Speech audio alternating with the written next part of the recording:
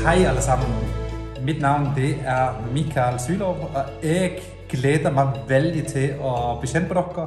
Jeg skal få lov til å være med dere her i konfirmasjonstida og få lov til å konfirmere dere. Så det gleder jeg meg veldig til. At vi skal tilbringe ti lag og bli kjent med hverandre.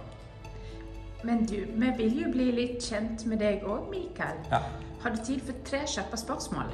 ja, det går, det går fint, det. Cola eller Pepsi?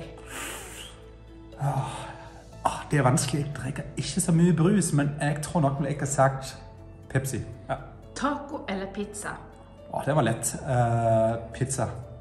Og Danmark eller Norge? Uh, ja. Kom igjen nå. Og uh, Danmark på sommeren, Norge resten av året. Så, så bra. Veldig bra. Så vil jeg bare ønske dere alle sammen en eh, riktig god sommer når dere kommer så langt, og en god konfirmantleir. Og så ses vi til september. Det blir kjekt. Ja. Yes. Ha det bra. Ha det, da.